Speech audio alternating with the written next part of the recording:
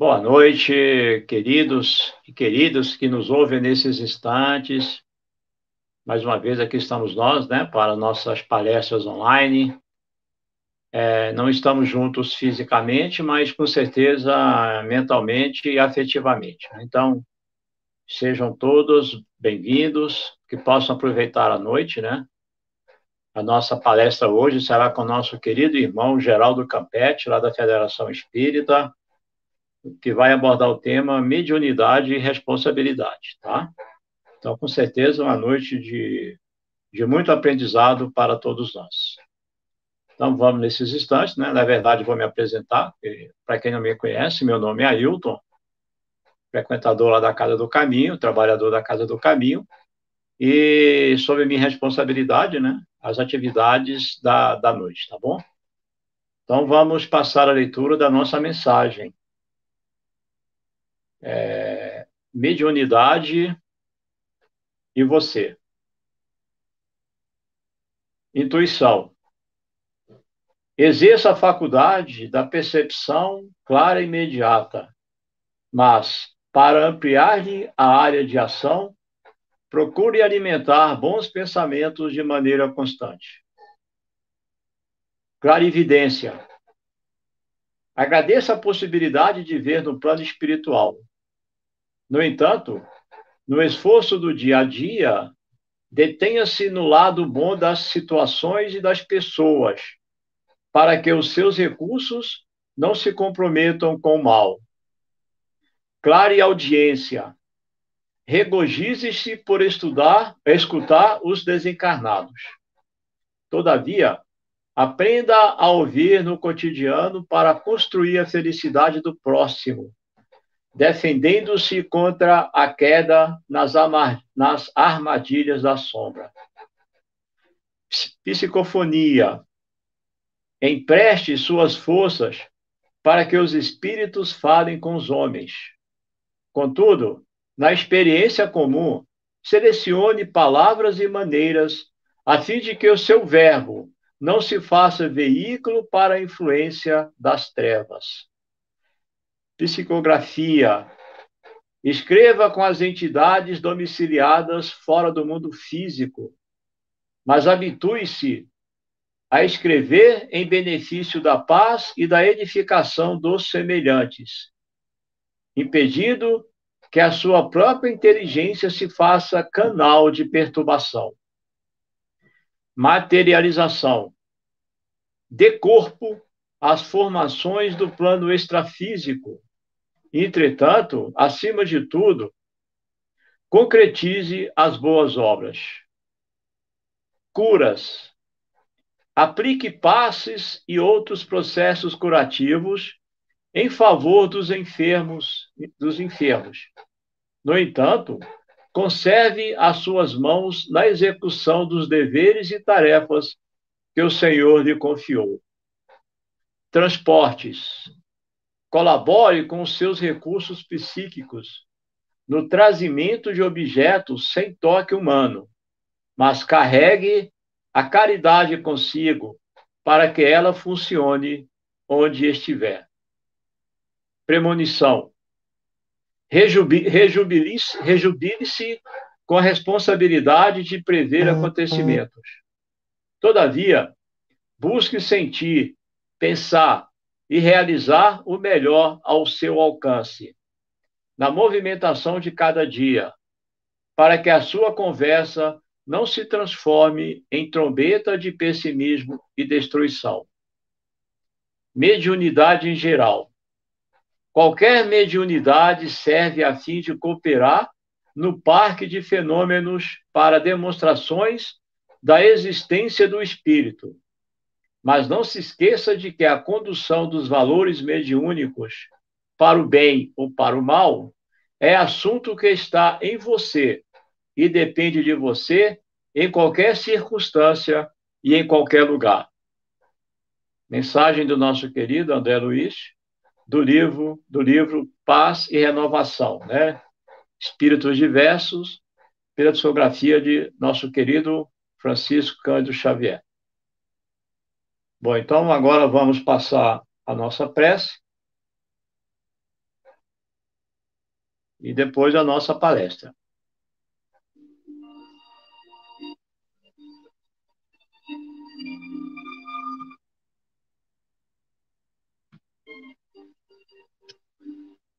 Amado Mestre Jesus, Divino amigo, irmão amado, irmão querido, a Ti, Senhor, direcionamos os nossos pensamentos nesses instantes, agradecendo a belíssima oportunidade de aqui estarmos reunidos em Teu nome, Senhor, buscando o aprendizado salutar, que muito nos auxiliará em nosso crescimento intelecto-moral. Que tenhamos uma noite de muitas aprendizagens que possa vós intuir o nosso, o nosso palestrante da noite, para que a mensagem possa chegar muito cristalina às mentes e aos corações de todos aqueles conectados, Senhor, de todos aqueles que estarão ouvindo e que ouvirão a fala da noite. Abençoe a todos nós que nos encontramos, encarnados ou desencarnados, Abençoe, Senhor Jesus, o nosso planeta em um momento tão delicado e tão conturbado porque está passando. Nos fortaleça no teu seio de luz, nos abençoe, nos fortaleça e fique conosco, querido amigo, hoje e sempre. Assim seja. Bom, então, agora, para nosso amigo, irmão, né, lá da, querido lá da nossa casa, trabalhador, né, lá da Federação Espírita Brasileira, mas está nos corações de todos nós, caminheiros do bem, né, da Casa do Caminho. Então, Geraldo, te passa a palavra, né, e fique com Deus e que Jesus te abençoe, viu? Estaremos aqui após, qualquer coisa é só dar um toque que a gente aparece de novo, tá bom? Muito obrigado, Ailton, amigo, irmão querido. Agradeço aí o convite desta casa, irmã, que nos abriga, que nos oferta a possibilidade de estudo, Casa de Coração, o GECAM, e a gente sente muita saudade. Conversávamos ali antes, né, que a gente sente a falta do encontro pessoal, do abraço, de estarmos juntos presencialmente. Mas nós estamos nessa travessia e é uma grande oportunidade que a gente enfrenta de desenvolvermos os laços do amor, dos sentimentos, da afetividade, mesmo que distantes fisicamente, nos encontramos próximos em termos de sentimentos, de afinidade, de conexão que estabelecemos por esses laços verdadeiros da fraternidade, da amizade, da solidariedade. Eu agradeço então o convite, a oportunidade de estar aqui com vocês nosso abraço a todos desta casa de trabalho, de oração, de estudo, de divulgação doutrinária, ao nosso irmão Ricardo, ao nosso irmão Valdeir e a todos os demais integrantes que a gente se recorda com muita saudade.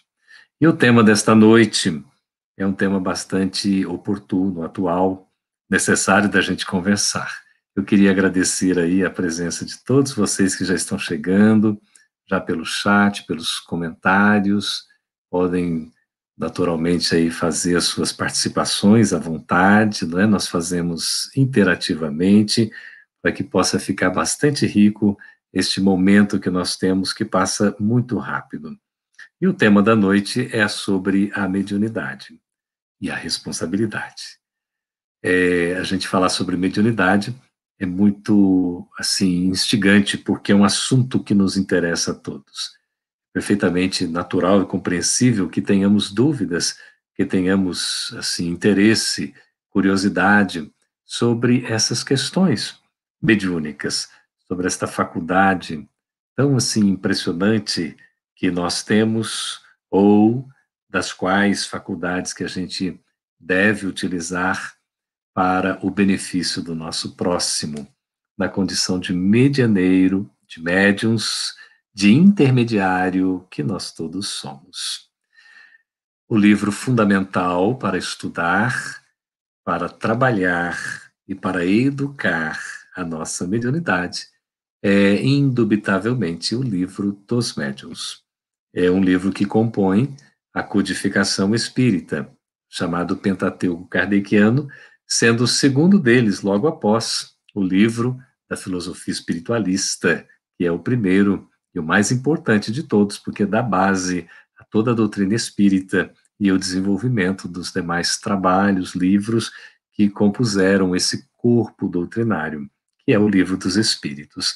E logo o segundo livro da codificação, desenvolvendo a segunda parte do Livro dos Espíritos, quando fala do mundo espírita, do mundo espiritual, da relação entre os dois planos da vida, o espiritual e o material, o extrafísico e o físico, por intermédio desta faculdade que é espiritual porque é do espírito, mas que depende também de uma predisposição orgânica, como uma própria tendência ou preparação adequada do soma, do corpo, do organismo, para que possa efetivamente se desenvolver, trabalhando os aspectos na relação com o meio ambiente, com o próximo, através então desta faculdade que é uma intermediação, que possibilita o estabelecimento de uma ponte, de um elo de ligação entre os dois mundos,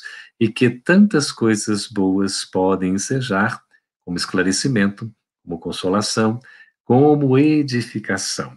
Uma grande oportunidade que se tem de se trabalhar o autodesenvolvimento, a própria educação e, naturalmente, todo o processo de evangelização espiritual, nosso e dos outros. A mediunidade é uma faculdade tão importante que foi através dela, das manifestações espiríticas, manifestações de efeitos físicos e intelectuais, que nós tivemos a revelação do Espiritismo. E não só também a própria revelação do Evangelho e a própria revelação, a primeira considerada aqui no mundo ocidental, que é a revelação, a primeira da justiça, vinda por Moisés, que foi um profeta maior, um médium muito potente, como a gente diria lá no interior, um médium muito forte, um médium de uma mediunidade, uma faculdade, inclusive de efeitos físicos, poderosíssima. Isso estamos falando aqui de Moisés há 1200 anos antes de Cristo. E o médium de Deus, por excelência, Jesus, trazendo a segunda revelação do amor através da apresentação de um Pai, de um Deus como sendo aquele que nos ama a todos os seus filhos e que espera que nós possamos entender, amando o nosso semelhante, o próprio processo da nossa evolução espiritual. E o Espiritismo surge com esta manifestação da espiritualidade, dos espíritos que são as vozes dos céus, que surgem praticamente numa espécie de invasão organizada para se manifestar em vários cantos do mundo, trazendo estes que são efeitos naturais, que representam as próprias leis divinas na natureza, como uma consolidação, uma compilação dos ensinamentos das virtudes que são as mais importantes e necessárias para a nossa evolução. Por isso, o Espiritismo é uma doutrina que é um conjunto de princípios fundamentais ali exarados em o livro dos Espíritos e desenvolvido nas demais obras da codificação, incluindo a própria revista espírita. E nós temos, através da mediunidade, a oportunidade de nos relacionar mais proximamente, desenvolvendo as nossas faculdades afetivo-amorosas para que a gente possa estabelecer relações construtivas com o nosso próximo, com o nosso semelhante, seja ele encarnado, seja ele desencarnado. Então, a mediunidade é uma faculdade valiosa que não deve ser desperdiçada no seu uso que precisa ser adequado, que precisa ser empregado com responsabilidade. E a gente poderia começar aqui conversando, entendendo que o livro fundamental para o estudo da mediunidade, para compreender o seu desenvolvimento e a educação de nós na condição de médiums, é o livro dos médiuns, é o que Emmanuel, o guia espiritual de Chico Xavier, vai chamar do livro base, lá no livro Seara dos Médiuns, que desenvolve explicando tópicos desta obra monumental, maior tratado sobre a mediunidade que a gente possa ter, que é o livro dos médios. No Seara dos Médios, Emmanuel aborda alguns tópicos, explicando, desenvolvendo para nós, e ele toma o livro dos médios como sendo o livro base, ou seja, não podemos tratar de mediunidade desprezando, desconsiderando ou desconhecendo o livro dos médios.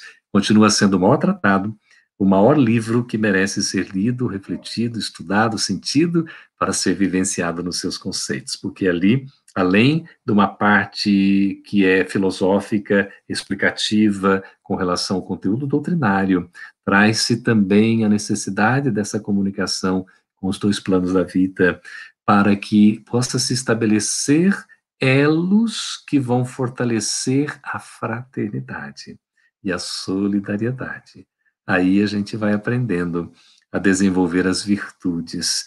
E o médium tem um papel fundamental nesse sentido, não é? Que gostoso. Nós temos aqui a participação de várias pessoas, né? E a Fernanda traz para nós que mediunidade é um assunto muito importante, né? Para todo grupo espírita sério, responsável e comprometido com a espiritualidade superior, mentores e benfeitores da luz, não é?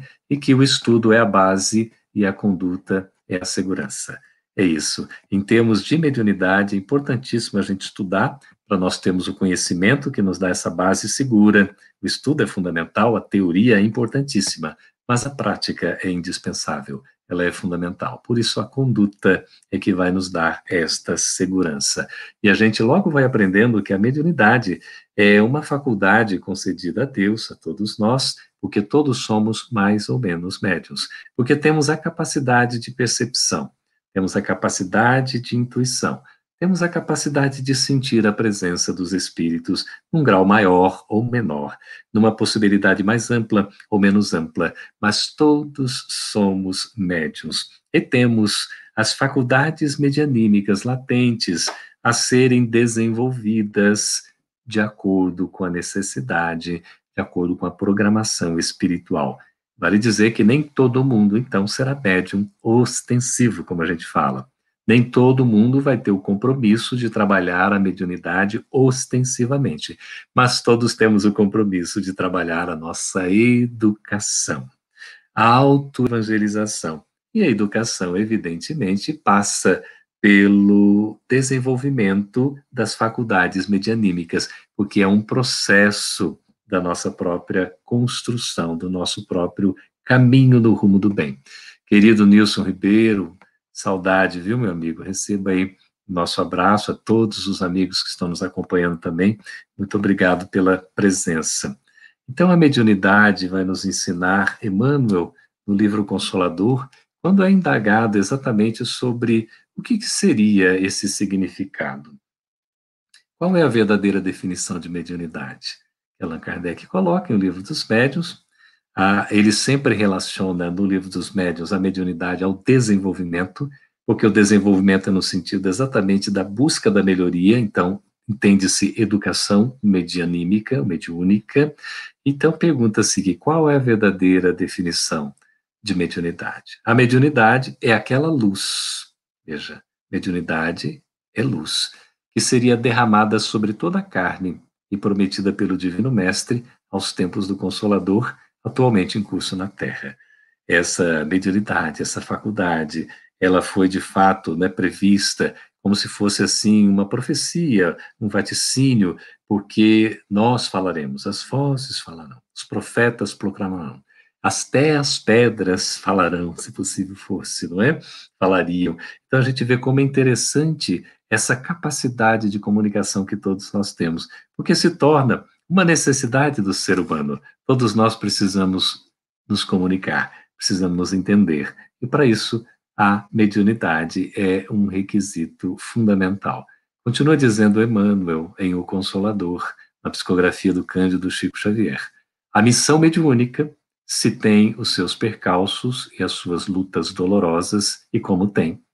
Quem é médium ostensivo, ou quem é médium, mesmo que não desenvolvido, entre aspas, mas que já tem uma certa consciência, exatamente sente isso.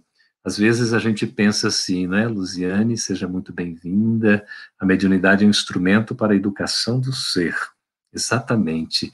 E esse essa educação, ela é um processo que nem sempre se dá de maneira fácil, porque é uma trajetória desafiadora nos exigir testemunhos pessoais intransferíveis para os quais nem sempre nós nos sentimos devidamente preparados embora já pudéssemos ter as condições indispensáveis para sua justa e benéfica aplicação. Porque se nós temos alguma oportunidade, essa oportunidade ela precisa ser aproveitada. Ela precisa ser trabalhada, não pode ser desperdiçada.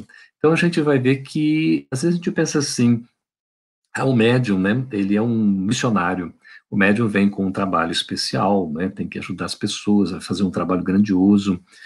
O primeiro trabalho que o médium, como esse instrumento, como esse medianeiro, esse que é uma espécie de ponte entre os dois mundos, esse sensitivo, essa pessoa dotada dessa faculdade e que se tem um compromisso realmente no sentido do desenvolvimento, o primeiro compromisso que ele tem é consigo mesmo. O médium, primeiramente, tem um compromisso de trabalhar a sua própria educação. Todos devemos nos voltar para a nossa autoevangelização. E esse é o grande desafio. É por isso que estar na condição de médium vai ser realmente estar disposto a enfrentar percalços. Percalços são esses problemas é, esses obstáculos, óbices, não é isso? Desafios que nós vamos enfrentar na nossa trajetória. Então, o médio não é aquele missionário que vem para cumprir a missão linda, bonita, e está tudo muito bem, é um caminho florido, né, suave, muito sereno. Não, pelo contrário. Ele vai enfrentar, enfrentar percalços, dificuldades, problemas, vai enfrentar solidão também, desentendimentos, críticas, não é isso? Sobretudo um trabalho necessário interior que vai clamar a sua própria, o seu próprio despertamento consciencial. Eh, o seu próprio desenvolvimento do, do, dos sentimentos, da afetividade.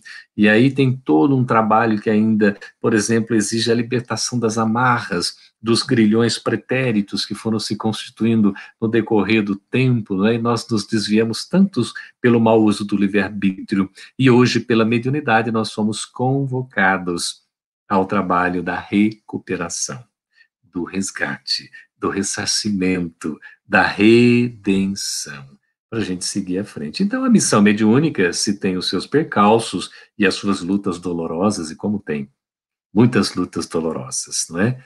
Tantos enfrentamentos. Veja aí, exemplo de Dona Ivone do Amaral Pereira, de Chico Xavier, não é isso?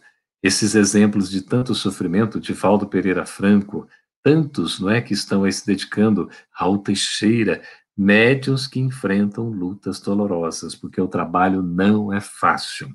É uma das mais belas oportunidades de progresso. A mediunidade é uma das mais belas oportunidades de progresso e de redenção. Essa libertação, ascensão, esse crescimento espiritual, concedidas por Deus aos seus filhos misérrimos. Veja, Emmanuel coloca filhos misérrimos. É a nossa condição moral ainda. Então, uma grande oportunidade de nós nos libertarmos, da gente se redimir, da gente evoluir, é trabalhar a nossa mediunidade. Lembremos aqui que nós vamos trazer outros comentários de vocês. Estava me recordando do belíssimo livro, que é um dos que mais assim me tocam na coleção A Vida no Mundo Espiritual, que é este daqui, ó. Os Mensageiros, na psicografia então do Chico Xavier, ditado pelo espírito André Luiz, a gente vê aqui uma coisa muito importante que é um relato praticamente de uma semana incompleta, um relato incompleto, um relatório incompleto de uma semana de trabalho junto à crosta, crosta planetária, em que amigos espirituais vêm visitar e vai acompanhando, não é, alguns trabalhos que são realizados. E a André Luiz tem a avaliação de espíritos que nasceram programados no planejamento reencarnatório para atuarem como médiums. Então, para trabalharem a mediunidade. Por quê? Porque já eram espíritos comprometidos com o passado. A gente acha que o médium é um espírito evoluído. Não é. O médium é um espírito geralmente devedor.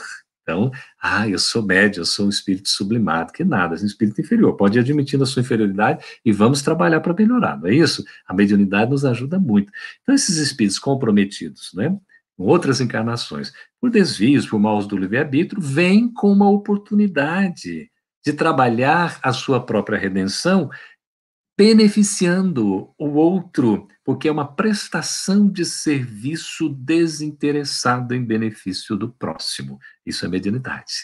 Mediunidade com Jesus. No Espiritismo, a mediunidade é com Jesus. Por isso não é interesseira, ela não tem moeda de troca, não há simonia para a gente vender de qualquer maneira, ou até mesmo querer como resultado uma recompensa, elogios, e para ser o médium principal da casa, ou para ser aquele instrumento que é um grande missionário, nada disso. O médium é uma pessoa comum, como qualquer outra, não tem nada de especial, a não ser um espírito eminentemente endividado que precisa trabalhar o seu aperfeiçoamento. Isso não é castigo, isso é oportunidade. Como Emmanuel fala aqui, é uma das mais belas oportunidades de progresso e de redenção concedidas por Deus aos seus filhos. Então nós temos aí misérrimos, veja lá, aqueles filhos devedores, como a gente ainda cometeu tantos erros, agora a gente tem a oportunidade da bênção do trabalho, não é punição, não é castigo, é a lei de causa e efeito que funciona, mas ela nesse sentido que vai nos dar a oportunidade do ressarcimento pelo trabalho. Eu não preciso ficar sofrendo, às vezes, dores pungentes, e o sofrimento, inclusive, parece que nunca acaba. Eu vir assim com provas eminentemente pesadas, árduas. Não necessariamente eu venho na condição de médium. E aí eu vou ter as lutas, vou ter os percalços, vou enfrentar as dificuldades, os empecilhos, e vou ter todo um trabalho necessário de desenvolvimento de virtudes e de erradicação de vícios no meu comportamento ainda. Então, esses médiums aqui André Luiz faz relação. Ele os encontra no plano espiritual e é como se fosse uma entrevista, ele vai acompanhando lá esses próprios médiums retornando do plano material após a desencarnação, estavam fazendo uma espécie de autoavaliação. Como é que haviam sido os seus desempenhos, então, durante a encarnação? Notadamente, na possibilidade do trabalho pelo uso das faculdades medianímicas. Todos eles, ali, sem exceção, seja, por exemplo, né, um médium ligado à psicofonia, à psicografia, à materialização, a um médium não é, vinculado a um trabalho de apoio, de suporte, de passe e tudo mais, todos os que estão ali relatados acabaram não cumprindo devidamente com o compromisso assumido. Todos eles, de certa forma, capitularam, falharam, faliram no seu compromisso. E olha que já era aí no caso Nilson, Luciane, Fernanda, Marta, não é? Aldenora, já era a questão de um retorno desses espíritos para trabalhar exatamente a sua melhoria. E Deus, na sua bondade infinita, permite que a gente acabe corrigindo as nossas mazelas, as nossas enfermidades espirituais, porque, de certa forma, todos somos enfermos, adoentados espiritualmente falando, somos ainda enfermos moralmente, e Deus nos concede a oportunidade da gente crescer, da gente se desenvolver, da gente se melhorar, trabalhando em benefício do semelhante. E a mediunidade é esse recurso extraordinário para beneficiar o próximo, para auxiliá-lo nas suas necessidades, consolando, esclarecendo, trazendo uma mensagem que vai assim tocar o seu coração, despertar a sua mente, vai lhe aliviar uma dor, não é isso? Vai ser assim um alívio, vai ser uma forma da pessoa entender de maneira mais assim resignada, compreendendo às vezes uma perda, uma separação temporária, a morte não como um adeus, mas como um até logo. Então isso a mediunidade nos traz mas a mediunidade voltada para o bem, né? aquela em que se torna um instrumento de auxílio ao semelhante. Esses nossos irmãos, eles falharam. E André Luiz nos traz aí toda a explicação da necessidade da gente assumir os nossos compromissos. Somos espíritos comprometidos e precisamos ser aqueles compromissados comprometidos porque nós temos é, um passado que realmente nos marca. Não tem como a gente fugir desse passado. Há um esquecimento temporário, como uma bênção também divina, para que a gente possa trabalhar melhor o presente, nos preparando para uma felicidade futura e resgatando esse passado, ainda que a gente não precisa lembrar. Mas, para isso, há necessidade que nós nos compromissamos, nós assumamos efetivamente, com responsabilidade, o que precisamos fazer.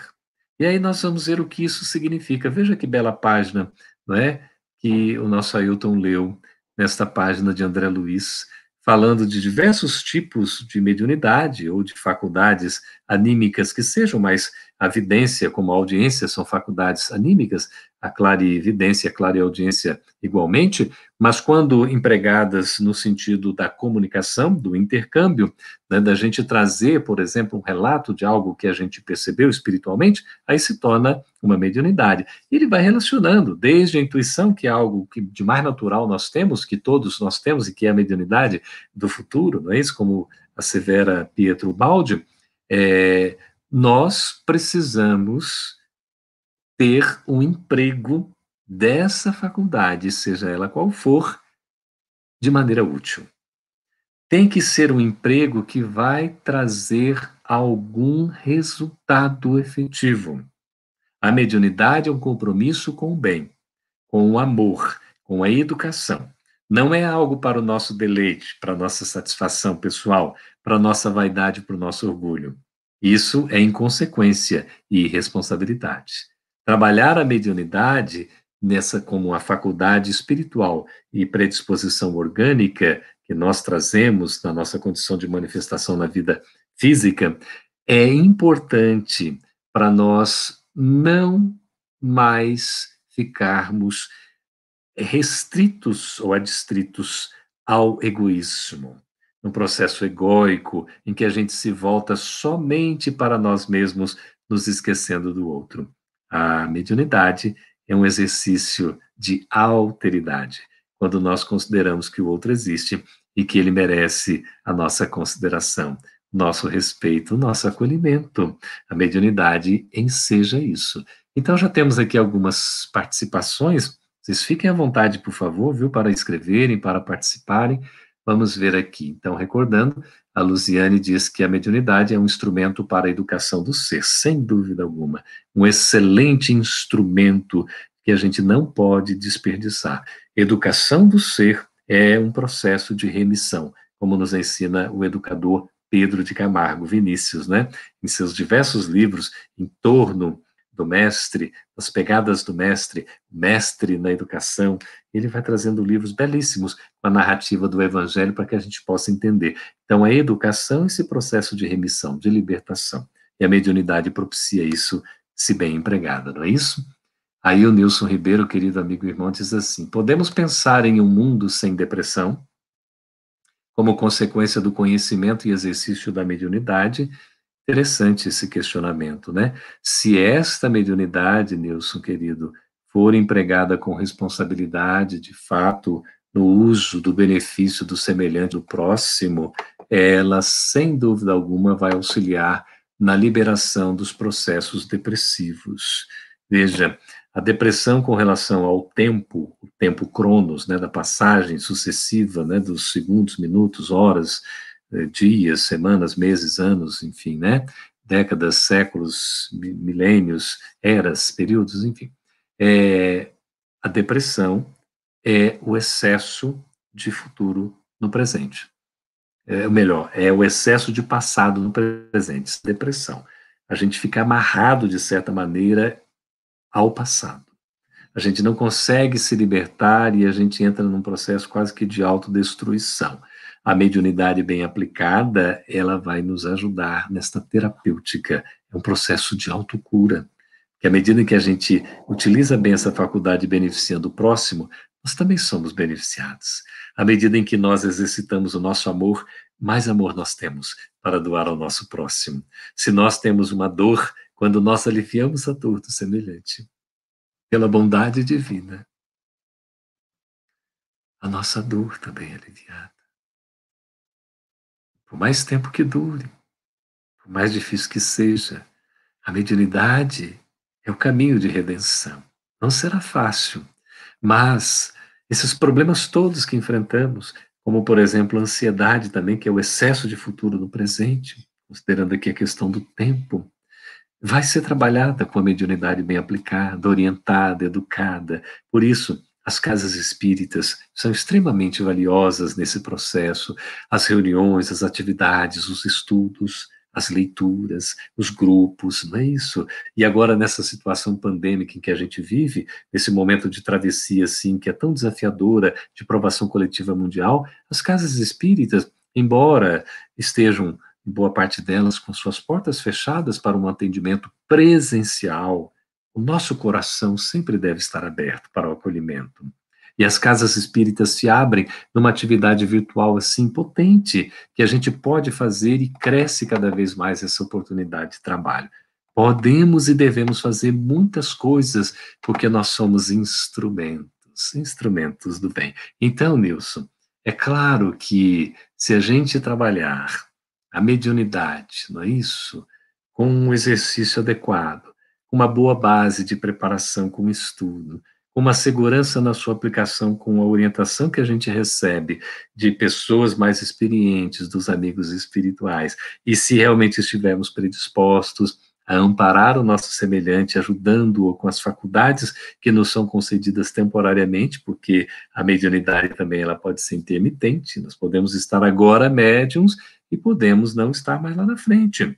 Somos, em essência, médios, mas estar no sentido da sua aplicação, não é? Isso pode variar muito, porque é uma faculdade que não nos pertence em essência, porque é uma concessão divina que pode ser retirada a qualquer momento.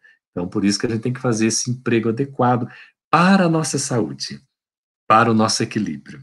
Porque quando não empregamos bem a mediunidade ou não a desenvolvemos no sentido da educação, isso pode nos causar transtornos, dificuldades, porque a gente fica como se fosse com tantas coisas assim é, retidas, nós seguramos tanta potencialidade, tanta força, tanta possibilidade, e esses recursos acabam redundando em nosso prejuízo, porque eles não são bem empregados. Lembrando aqui, quando Jesus fala da parábola da figueira que secou.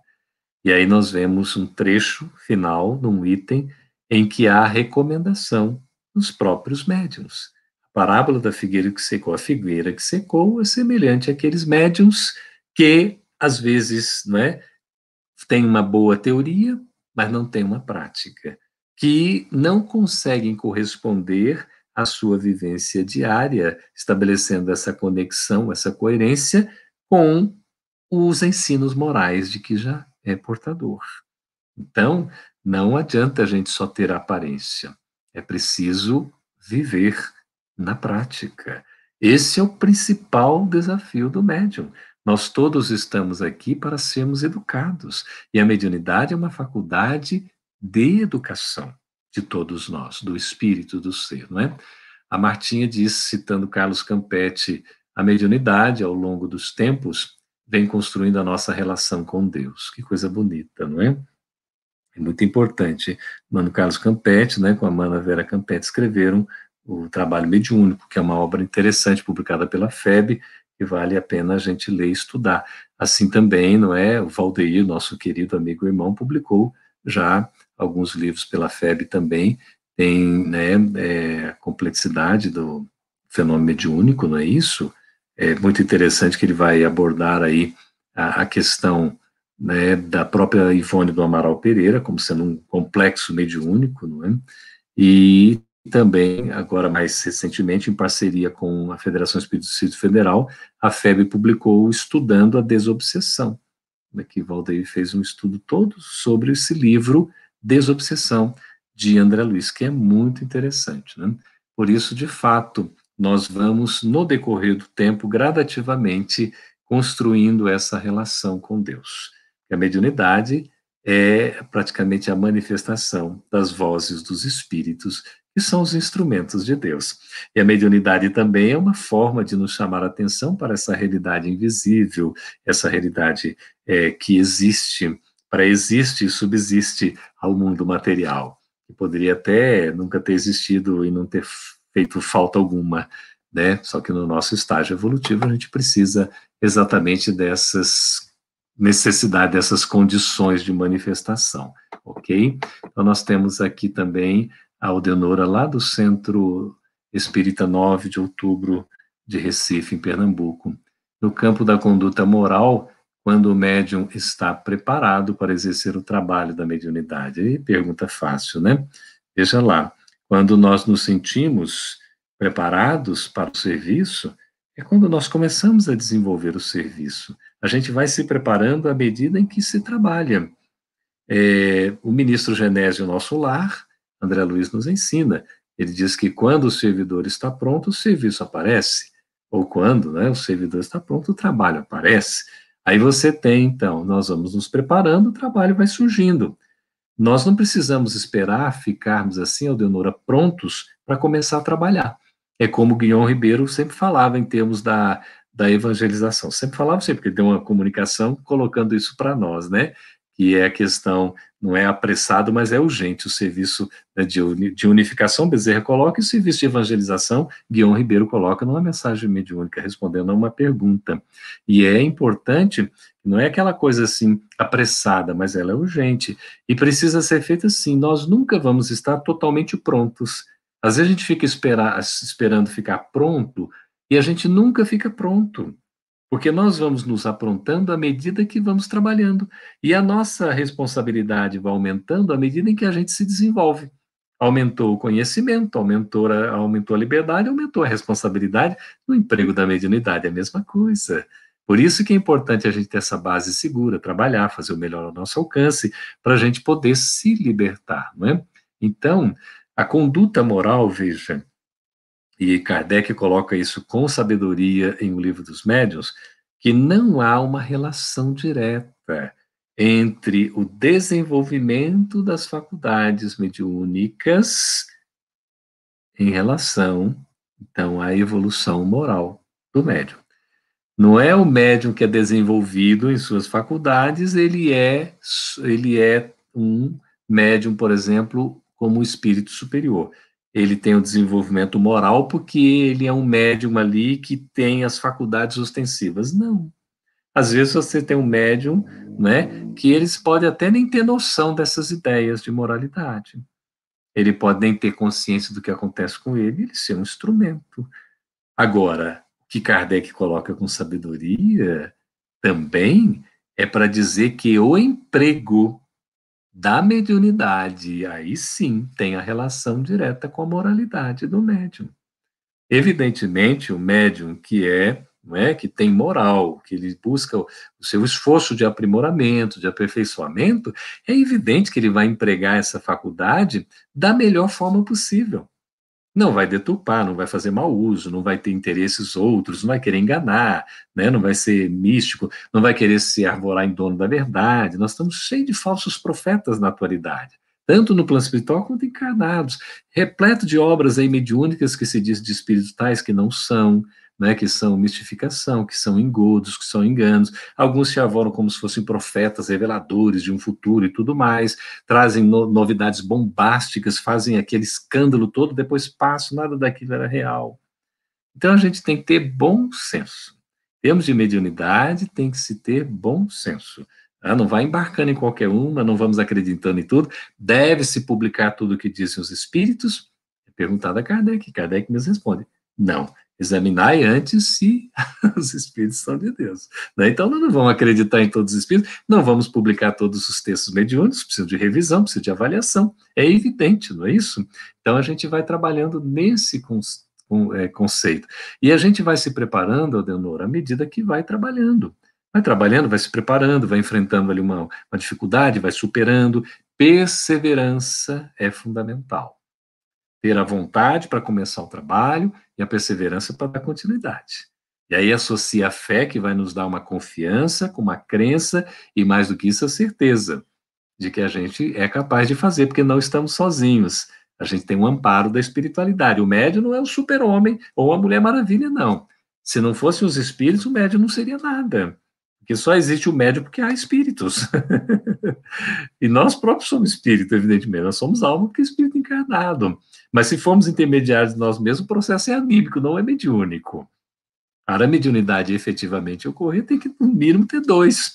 E nós podemos e devemos ser médios do nosso próprio espírito protetor. Ontem estava ouvindo uma explicação bem interessante nesse sentido a gente ser intermediário do nosso próprio espírito protetor, começar a escutar mais, a ouvir né, esses conselhos, as orientações. Então, Adenora, não fiquemos assim esperando, né, ficar prontos, não.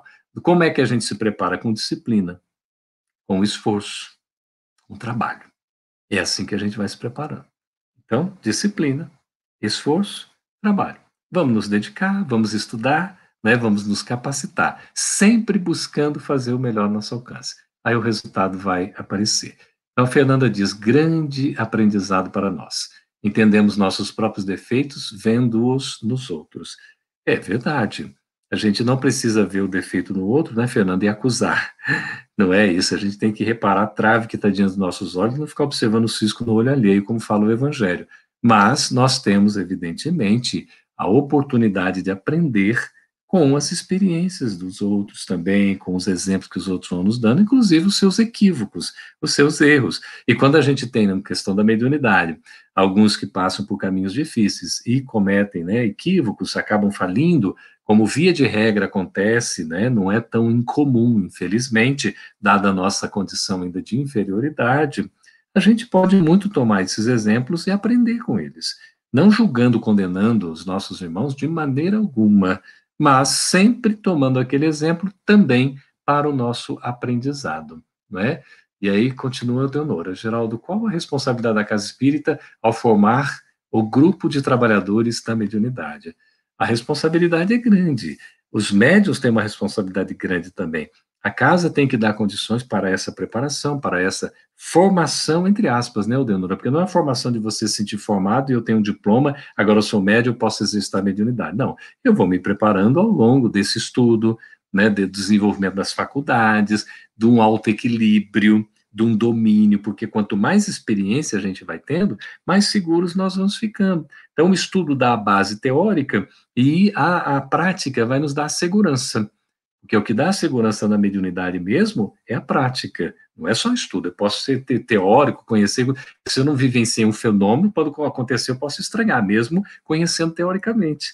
Então, a prática, nesse caso, é fundamental. E a gente pode, mesmo nessa pandemia aí, exercitar a nossa faculdade mediúnica através da oração, da vibração, não é isso? Do trabalho, assim, que, que é muito feito assim, de irradiação, às vezes conversando no diálogo fraterno, não é isso? Só não dá para fazer de fato o atendimento como a gente faz nas casas espíritas, né, pela, pela psicofonia, né, pelo atendimento dos grupos mediúnicos. Por hora, a gente não tem condições de fazer isso em casa, né, não há essa preparação adequada, teríamos que ter todo um outro contexto, porque a casa espírita tem a devida preparação para isso. Aí a gente tem que ter paciência, vamos trabalhando as nossas faculdades de várias outras formas e servindo ao próximo, não é isso?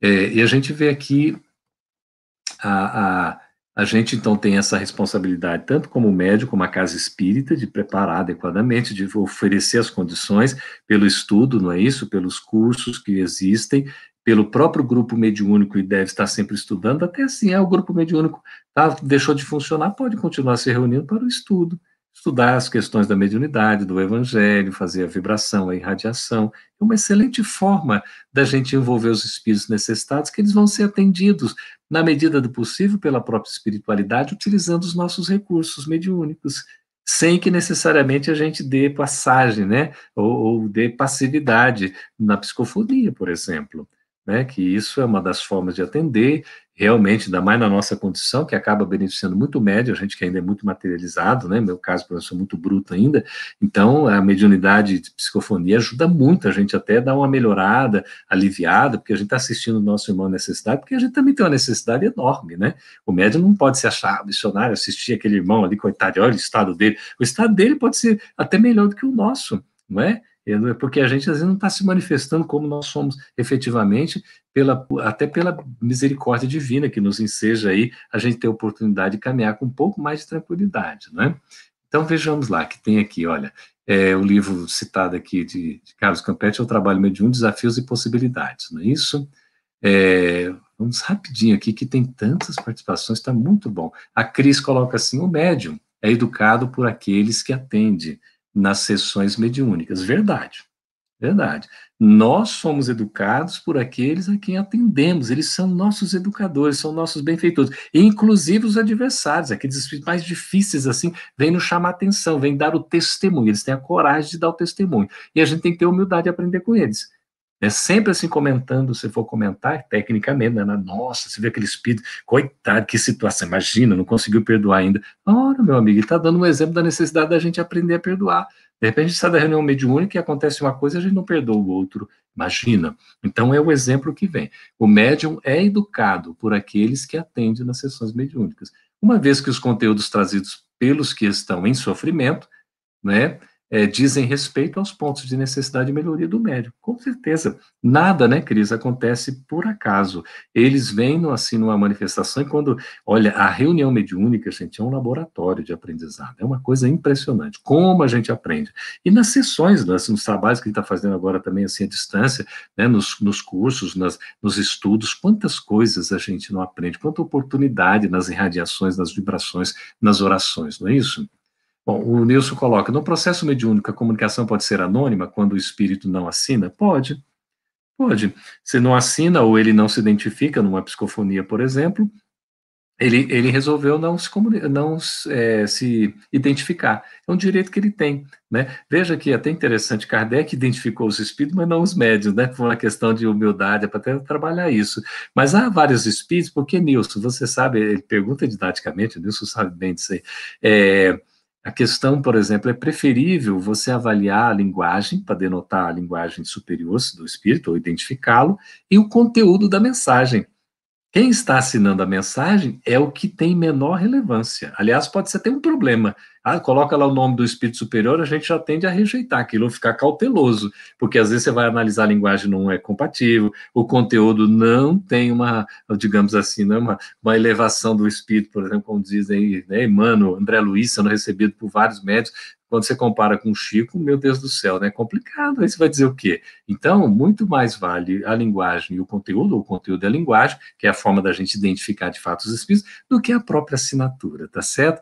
O anonimato aí pode ser ter um exemplo bonito deles de humildade, né? O próprio André Luiz. Olha, quem é André Luiz? E aquela polêmica para lá e para cá e tudo, né? Assinou ali com o pseudônimo, adotando o nome do irmão do Chico Xavier, não é isso?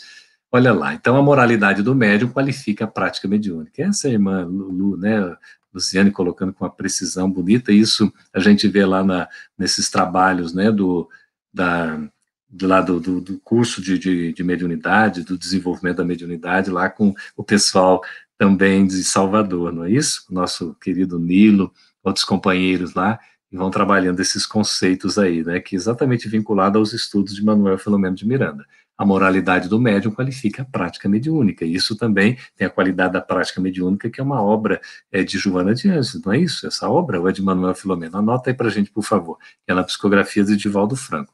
A moralidade do médium qualifica a prática mediúnica. E a qualidade da prática mediúnica é fundamental para a gente poder aprender cada vez mais.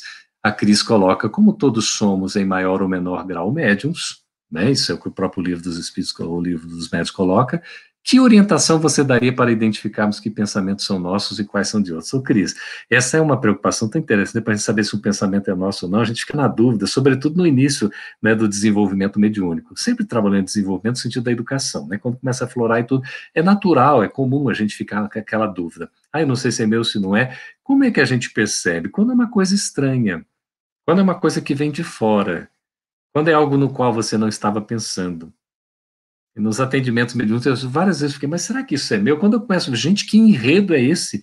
Os espíritos se manifestam assim como é, tem um encaminhamento tão impressionante, você nem fazia ideia daquilo. Aliás, se você pensa alguma coisa, às vezes é o oposto que acaba acontecendo. Então você vê a autenticidade, por quê? Por conta dessa de ser inusitado, né, de ser inesperado, de ser inédito, de ter um encaminhamento que você não, não, não pensou naquilo, tá certo? Então é isso. Agora, isso é uma coisa que a gente vai aprendendo à medida que a gente vai se autoconhecendo. Na medida que eu me conheço, sei quais são os meus sentimentos, meus pensamentos, eu vou logo perceber quando é algo de fora, e eu vou, inclusive, identificando. Oh, é um espírito protetor. Eu sinto quem está presente agora é o espírito tal. Até começo a identificar. Depois, olha, pela própria característica e tal tipo de pensamento, né, é o espírito tal. Mas isso é tudo um exercício que a gente vai fazendo gradativamente, aos poucos, sem pressa, viu, Cris? E com orientação também do estudo e da prática. O estudo nas, nas obras fundamentais e nos seus desenvolvimentos, mediunidade tem muitos livros excelentes que a gente precisa estudar mesmo, e também com orientação dos espíritos e orientação de espíritos encarnados, de pessoas que têm experiência na mediunidade. Isso é muito importante, não é isso? Então, aqui, ótimo, ó, interessa mais o teor da mensagem do que quem assina, evidentemente, não é? Aí a Eleonora está dizendo que concorda com a Luziane, muito bem, nós concordamos, né? O livro é A Qualidade da Prática Mediúnica, autoria Projeto Manuel Filomeno de Miranda, é da editora Leal. É da própria autoria do projeto, é uma equipe, né? O nosso amigo Nilo lá na, no comando e tudo, e várias pessoas, tudo gente boa, trabalhadores, né, pessoas dedicadas, maravilhosas assim. A qualidade da prática mediúnica, né, autoria do projeto Manuel Filomeno de Miranda. A moralidade do médium é essencial na mediunidade com Jesus. A mediunidade com Jesus, exatamente, né, Leonora? Aí a gente vai ter a, a, o emprego da mediunidade com Jesus, o médium vai se desenvolvendo cada vez mais, aí com esse uso do, do, das faculdades voltadas para o bem. Meus amigos, nosso tempo voa, não é? Só temos cinco minutos que a gente tem que devolver a palavra ao nosso dirigente para ele fazer o fechamento com a prece. E eu queria dizer o seguinte: esse assunto, ele é um assunto inesgotável. A gente, né, poderia ter aí uma hora, duas horas, um dia, uma semana, um mês, um ano. A gente sempre vai estar estudando sobre mediunidade. É por isso que coloca é, Allan Kardec logo na introdução do livro dos médios que a mediunidade é o maior escolho do espiritismo. Continua sendo até hoje o escolho do espiritismo. O que é escolha? É o desafio. Pode ser aquele problema a ser resolvido, sabe? Aquela etapa a ser vencida, porque vai nos trazer assim um leque muito grande de necessidades de entendimento. E é um ponto que nos toca muito de, pré, de, de, perto, muito íntimo, porque se nós todos somos, né, na essência, mais ou menos médio, a gente vai ter todo esse trabalho para a gente poder desenvolver, para a gente poder crescer espiritualmente. Então, bendita a mediunidade. A mediunidade que enxuga lágrimas, que consola corações, que ilumina mentes, não é isso? O exercício da mediunidade saudável manifesta, sim, a harmonia com o nível de consciência de si mesmo, expressando o processo de evolução do encarnado. É Viana de Carvalho, em Médiuns e Mediunidades, na psicografia de Divaldo Franco, não é? Exatamente isso, é o exercício da mediunidade saudável, que vai manifestar essa harmonia, esse equilíbrio. Então, meus amigos, que a gente possa empregar sempre a nossa mediunidade, porque todos somos médiuns, em benefício do próximo, numa ocupação útil, num trabalho do bem, para que todos possamos encontrar a nossa satisfação no bem-estar, na saúde integral, no equilíbrio das nossas ações, na serenidade na tranquilidade da consciência de que nós estamos cumprindo com os nossos deveres, porque utilizarmos esse recurso em benefício do semelhante é nós trabalharmos a mediunidade com Jesus. Assim deve ser, assim precisamos agir. Muito obrigado, queridos amigos, evocando essa responsabilidade que a mediunidade a todos nos faculta. A responsabilidade para que possamos nos desenvolver espiritualmente. Que Jesus nos abençoe hoje e sempre. Estejamos com Ele, assim como Ele está conosco. Muito obrigado pela atenção, pelo carinho de todos vocês. E agora nós devolvemos a palavra ao nosso dirigente Ailton, por gentileza. Maravilha, Geraldo. Como você disse, é um tema para seminários, né? Tratar de um tema tão profundo desse em, em, poucos minutos é realmente é deixar a gente com água na boca, né? Porque com certeza ficaríamos aqui te ouvindo ainda por horas e horas e horas. Conhecimento nunca é demais e a única coisa que o espírito leva para o mundo espiritual é que adquire porque fortalece tanto o lado moral quanto o lado intelectual. Geraldo, mais uma vez, obrigado pela presença, que Jesus te abençoe eu, como você nos deu um presente, eu queria te dar um. Você fazer para a gente a prece final. Posso fazer.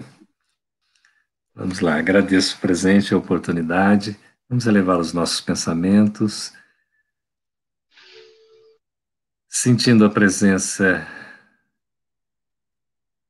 de Jesus na intimidade dos nossos corações, deixando que Jesus se manifeste. Por nosso intermédio, nas nossas palavras que consolam, nos nossos sentimentos que acolhem, nas nossas ações que auxiliam, para que sejamos, divino amigo, querido irmão, instrumentos do bem aqui na terra, implantando o reino de Deus no coração de cada um de nós, a começarmos por nós mesmos, no esforço, na diligência, na disciplina, e buscarmos empregar todos esses recursos, otimizando-os no auxílio e na proteção, no amparo e na assistência aos nossos irmãos em necessidade, tais quais nós mesmos ainda nos encontramos em tamanha necessidade, Senhor. Muito obrigado, divino amigo, querido irmão, por podermos utilizar desses recursos valiosos na assistência, na proteção, no acolhimento, na orientação, na autoevangelização e assim também operarmos para a educação espiritual do nosso semelhante, o próximo a quem precisamos aprender a amar, no exercício da solidariedade, da fraternidade. Oh, Divino Amigo Jesus, estamos aqui, Senhor e continuamos à disposição para sermos instrumentos da paz na terra, nesses momentos desafiadores, do amor em tempos de ódio, do bem, Senhor, nos instantes temporários em que o mal aparentemente se faz forte, levando os laços de união onde ainda há tanto desentendimento, porque somos, Senhor, instrumentos do vosso amor. Fica conosco, divino amigo, assim como estaremos contigo também. Gratidão, amigos espirituais.